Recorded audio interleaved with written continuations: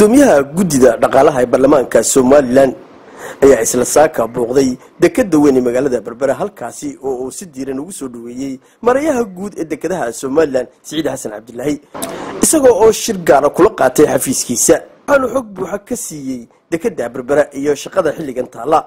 Intaasi kadibna waxa ay kormeer lugu ah ku tageen dekada weyn ee magaalada berbera halkaasi oo xildhibaanada qaarkood ay ka markhaati fureen shaqada iyo horumarka iyo ganacsiga ka socda dekada weyn ee magaalada berbera qof ah inay maanta nagu soo booqdaan guddida dhaqaalaha iyo ganacsiga ee golaha wakiilada jamhuuriyadda somalilan runtii oo shaqadoodii ku guda jira ayaa nagu soo booqday dekadda berbera waan uga mahad celinayaa runtii in ay u xogaal noqdaan ganacsiga dalka ka socda iyo goobaha dakhli soo saarka ah ee jamhuuriyadda somalilan mar labaad iyo mar saddexaad waxaan isku soo dhoweynayaa ku soo dhowaada dekadda weyn ee magaalada berbera saaka waxaanu soo booqannay oo aanu ku dambeynay meelo badan oanu soo booqanay kabacdi dekada maarayaha dekadda berbera oo runtii warbixin waafiyana siiyey oo noo warramay warbixin kabacdina runtiina soo tusay oo idhahayaga aan ku soo aragnay waxqabadka runtii baaxadda leh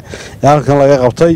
Aad iyo aad baan ugu mahad celinaynaa maareeyaha dekadda sidoo kale waxaan u mahad celinaynaa runtii shirkadda d b wel oo dhaqaalihi ay gelisay ka muuqdo dekadda oo runtii qalab badan iyo qurxin badan iyo runtii nidaam badan ku soo kordhisay dekadda berbera oo runtii qofkii sanad ka hor ama bilo ka hor arkay aanu filanayn inay dekaddii tahay.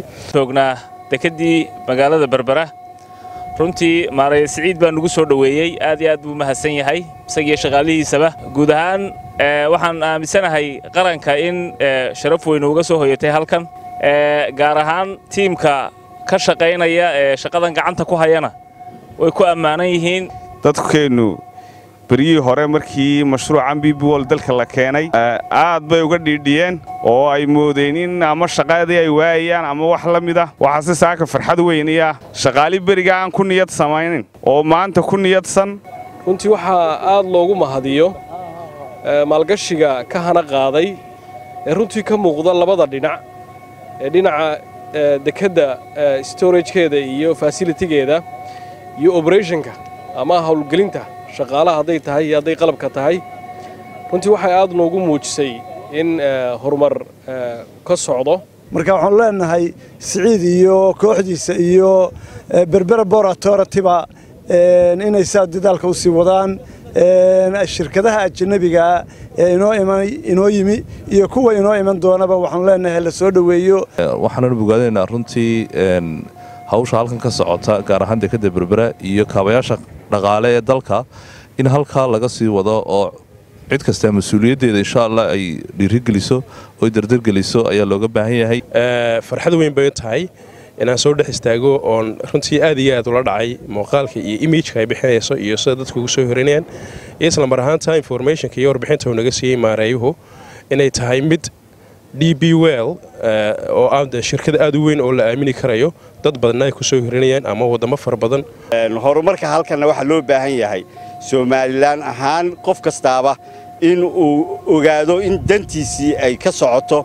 Meeshan horumar badan baa ka jira shirkado badan baa yimi wax badan baa hawl badan baa halkan ka socota.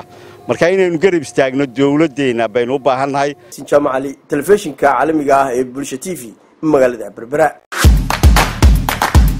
abka dahab las iyo casriyeynta adeegyada shirkadda dahab shell. Dahab las oo kuu fudaydinaya islamarkaasina kuu koobaya dhammaanba baahiyaha adeeg ee edahab dahabbay iyo adeegyada shirkadda somtel mar kasta iyo mar kastaba ku isticmaal ablicathonka dahab las hadal oo hadal oo hadal. Oo ku hadal. Bishii oo dhan. Toddoba dollar. Oo keliya. Ku darso fariin kasta oo aad dirtaana waa kuu bilaash.